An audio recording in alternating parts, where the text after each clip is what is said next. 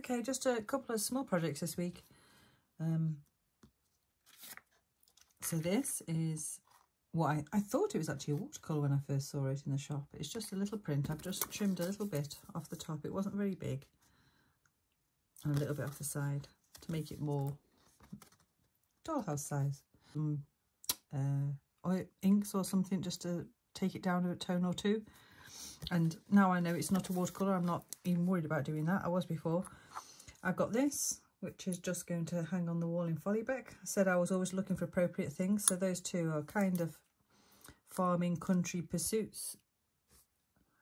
And then I wanted to finish that kitchen light. So I have I have a box of, I keep a box of shells, shells. I'll show you. Right. Nice old Cadbury's box. Um, here's my box of shells. I have all kinds in here. And I have a lot of these. And I usually make sea glass and shell. Sort of like window lights hanging down. So they or wind chimes, so they, they make a lovely noise. So those I thought would be quite appropriate for a lampshade because they do actually really show the light through and I have another one which would look gorgeous but not for this house. That one I'm thinking of drilling a bit more and then if I put something like that over the top it'll send it more central. So if I glue something like that and then that's like a lampshade and I could even put a bit of frill around the bottom. I was contemplating drilling holes in and hanging some beads from it which I think would be lovely. So we'll see which route we go anyway. You know me, I, I make it up as I go along and that's the way I've always done it. So nothing's nothing's changed. So anyway, yeah, so they're just a couple of projects. They're just little ones. Like I say, that one's literally just just going to have another jump ring on it and hang it on the wall. It's actually old, that. It's, um, it's made of pewter, I think. It's not silver, but it is, as you can see. Really nice. So anyway, we'll get on with it. And by the way, I'm back. right, so I'm just going to be my usual messy self. Um, I'll start off with this shell is quite easy to drill and shape and stuff. It's just dusty. It isn't something you want to be breathing in. So that's why I'm doing it in water. And also water makes your drill bits last longer. Right, so I've changed onto this. It's it's just like a little grinding stone type of thing.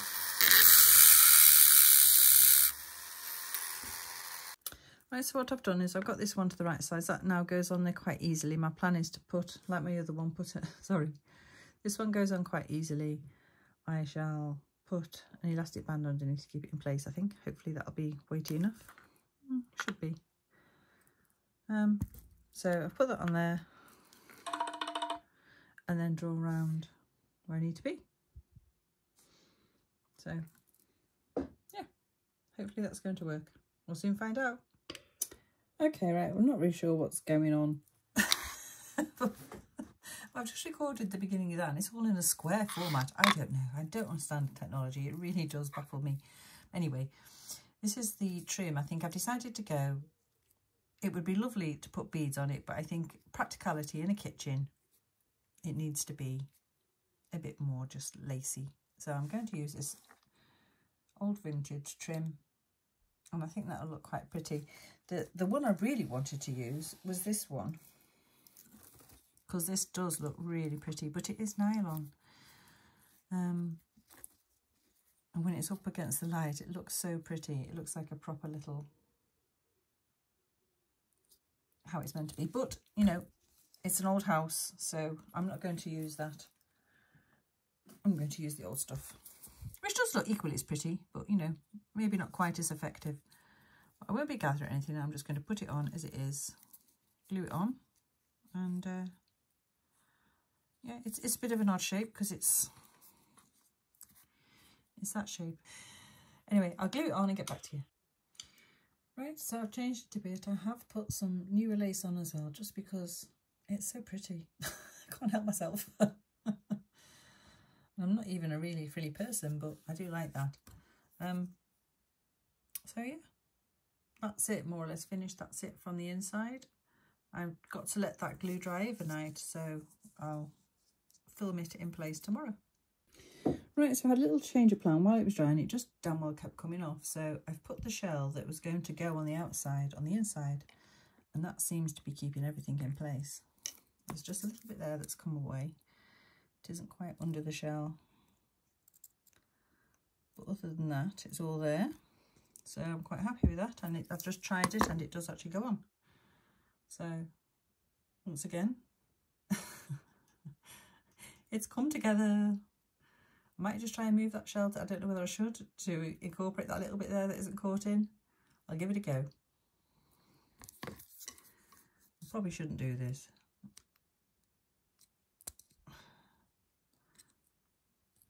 Stay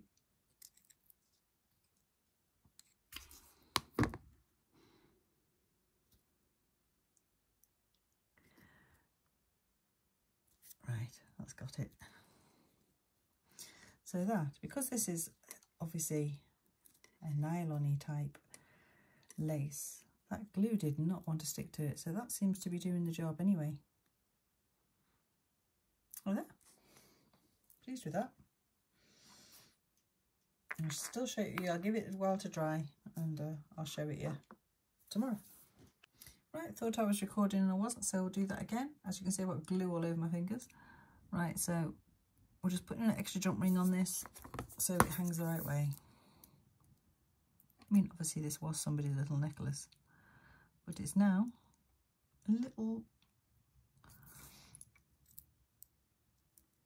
plaque or picture or whatever you want to call it. Yep, that's it. Nice and simple. All done. Right, this is make or break. I don't know. Let's have a look. Hmm.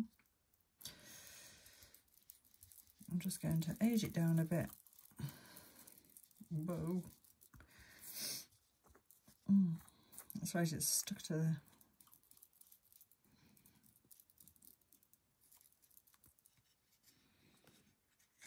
I'm just trying to make it look a bit older than it is. Uh, just take that colour off. A little bit of that.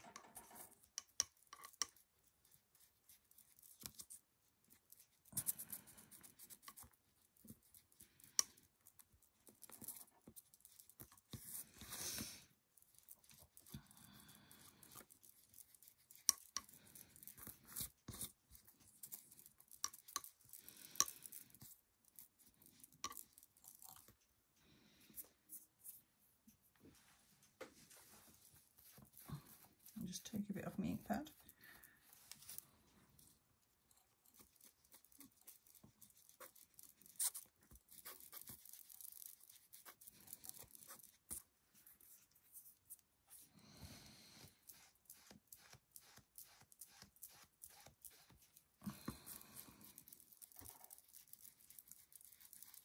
Well, at least we can see the uh, autograph there now. I'll be able to tell what that says.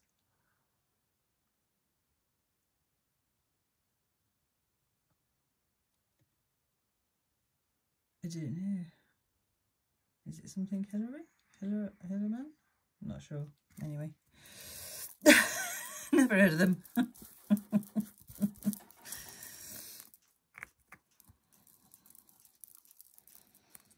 right, there. I think that's... Yeah. Just filled in those last few bits. I just thought it looked a bit more better. Anyway, it's done now. So right, we need to make a frame for this now. Just while I'm here, once again, you know, really appreciate you tuning in and subscribing, commenting, give me a thumbs up. And anyone who's bought me a coffee, thank you so much. So, and also next week, uh, at some point, it'll probably be the back end of next week, I'm doing a weather vane for Follybeck, so I'm really looking forward to that. So, yeah, it's going to be good, I hope. Anyway, in my head it is. How it'll turn out, I don't know, but in my head, it's going to be good. Right, I've decided to cut it exactly to size in the end. Um, I don't know why my thoughts, I'm not sure what my thoughts are on this, to be honest with you. anyway, that's what I've done. So I'll have a quick tidy up and we'll carry on. Right, I'm going to try this. I have this embossing folder and I saw this technique um, with Lou Collins. Now, she is a fantastic card maker. I'm not. So I'm just going to give it a try once. And if it doesn't work, then, you know, so be it. But I'm using embossing ink on the raised side of the embossing folder. Right, so apparently we fold that over into its embossing sleeve, not letting it move. And then we're going to run it through the machine. I'll do that and we'll see what happens. Right, so I have this gold. I'm going to put this on. You can use this on wood as well. I think it would be a really good technique, to be honest with you, for dollhouse uh, stuff. Try that on the top. I just don't want to brush it all out of there. I think that's brushing it all out, isn't it? God, I've lost it all. Yeah. Hmm, interesting.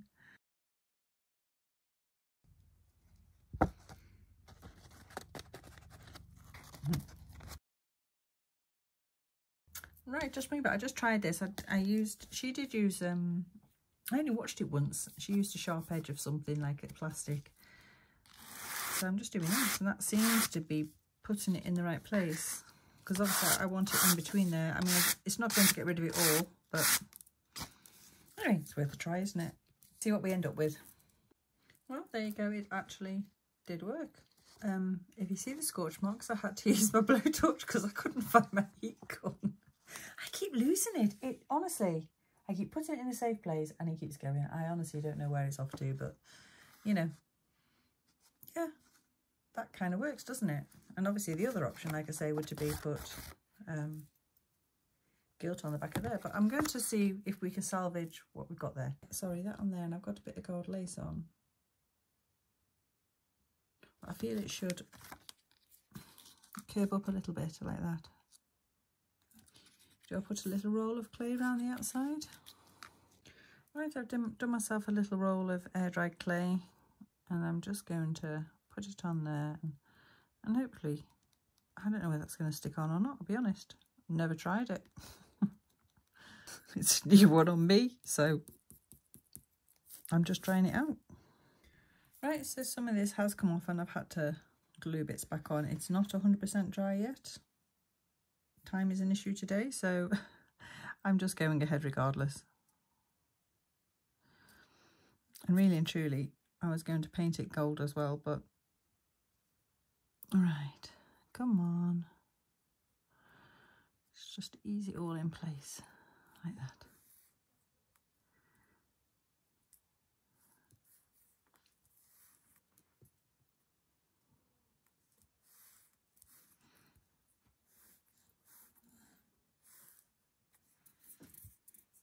I mean, depends on how this looks, whether I decide to uh, put anything over the top of it or not. I was thinking of some lace, so...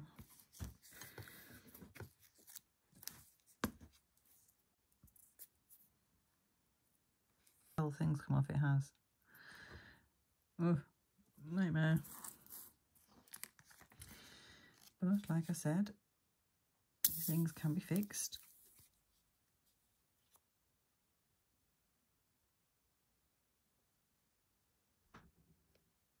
I'm not going to let it beat me.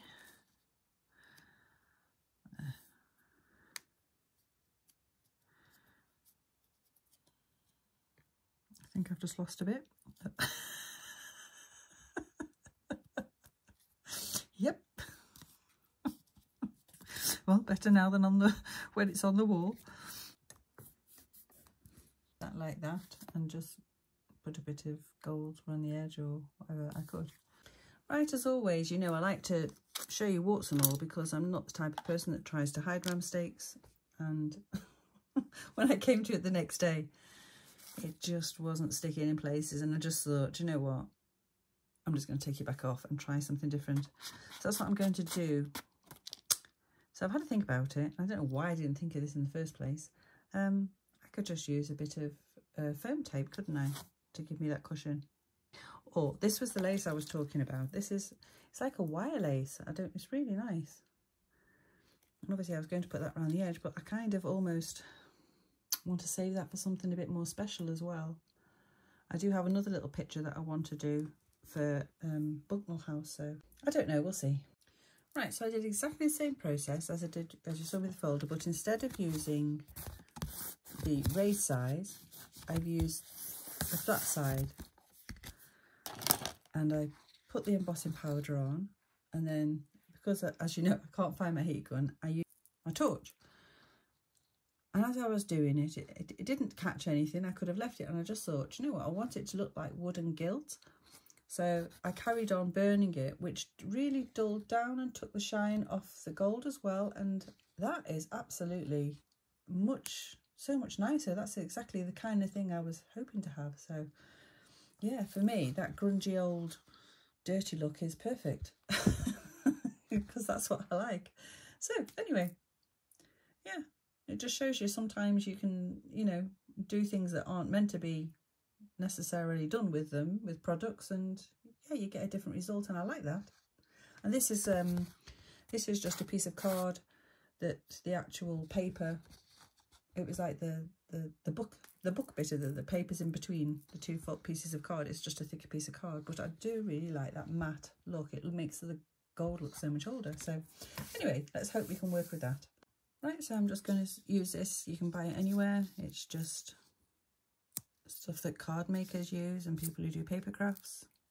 But that's too wide, so I'm going to cut it in half. I'll do that, get it stuck on and get back to you. Right, so I've put the foam on there, then I'm going to cut this out like I did before and um, make it into some sort of frame. But as I was just looking at it there, do you know what? I said about wallpaper before, that would make fantastic paneling as well, wouldn't it? So anyway, back to this project. Right, so I've just brought you back to what I'm doing. Uh, this is a thin, a thin, I've got the other tape on. This is a thinner tape, as in depth-wise. You can buy thin strips of this, I just I haven't got any. Right, that's better. Okay. So then I'm peeling the, because this is double-sided stuff, I'm peeling it off that bit and then putting it on the very edge there.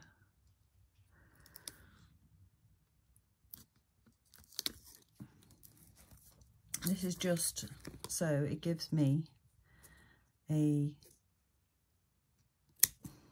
I can't think word I don't think chamfer is the right word but in like in a wedge which is what I want that one's possibly a little bit too close to that size but you know it's gonna have to do so I'll do the other bit, get back to you. Right, so to make my mitre corner, I'm just taking the length of the picture. Right, hang on. I think I've overcooked that a bit there. it to be. So I'm just taking my little triangle and using that as an angle somehow. Hang on, it's that way. Uh, yes, that way. Right. Okay, so that goes underneath. That line crosses there. Runs down there. And that should give me my... Let's see.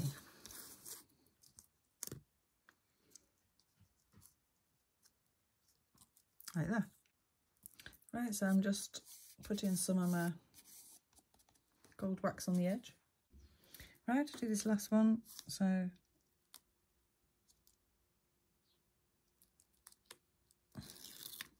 just pulling that off.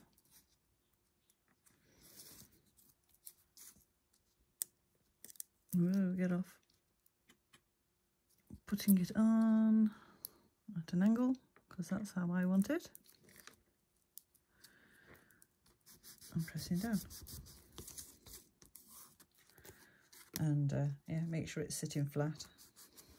I might put a bit more card on the back yet to strengthen it a bit more. We'll see. I mean, the stuff I put on was actually quite thick. It was that stuff. So, I'm